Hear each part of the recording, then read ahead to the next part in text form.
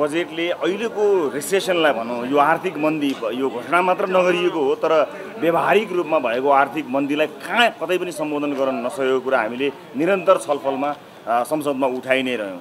विशेष गरेर अहिलेका मूल मुद्दाहरू चाहे तपाईँ माइक्रो फाइनेन्सको कुराकानी गर्नुहोस् सहकारीको यो अवस्था हेर्नुहोस्।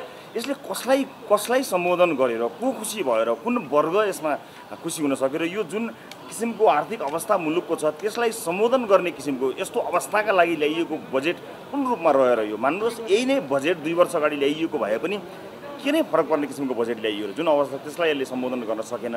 त्यति मात्र होइन चाहे तपाईँ वैदेशिक अनुदानको कुराकानी गर्नुहोस् न लक्ष्य कहाँ छ के हाम्रो नेसनल क्रेडिबिलिटी कहाँ पुग्यो हेर्नुहोस् त।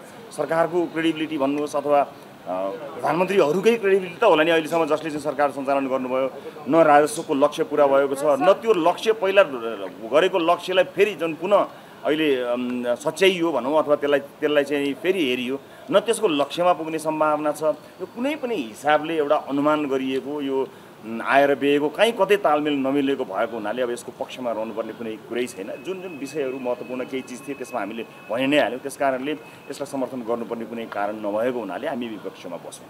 सरकारमा भइदिए हुन्थ्यो भन्ने भन्दा बढी सरकारमा नभइदिए हुन्थ्यो भन्ने प्रतिक्रिया आएको होइन र।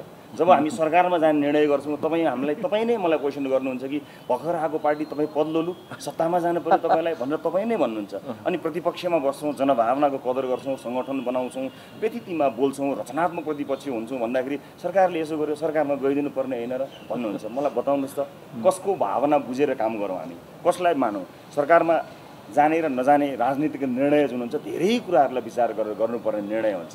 त्यस कारणले हो मलाई थाहा छ तपाईँको पनि एउटा धर्म छ तपाईँहरू सबैको किनकि कुन पोजिसनमा बसेकोलाई के प्रश्न गर्दाखेरि चाहिँ ठिक हुन्छ भन्ने त्यो बाध्यता तपाईँको छ होला।